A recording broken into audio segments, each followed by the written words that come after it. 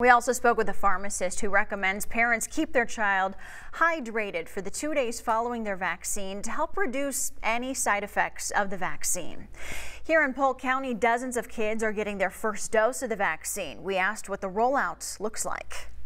So right now in Polk County, there are over 15,000 doses.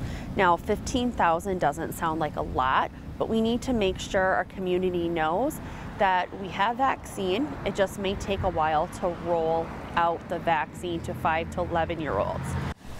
And right now, officials say all of their appointments are booked. They're giving the shots in a drive-through style format. With shots going into arms, we want to remind you the Pfizer vaccine is the only shot your kids can get right now. Moderna has submitted data to the FDA asking regulators to approve their shot for kids ages 12 to 17, but that's on hold right now with officials looking into a rare side effect. Johnson & Johnson is still in the testing phase for its pediatric shot.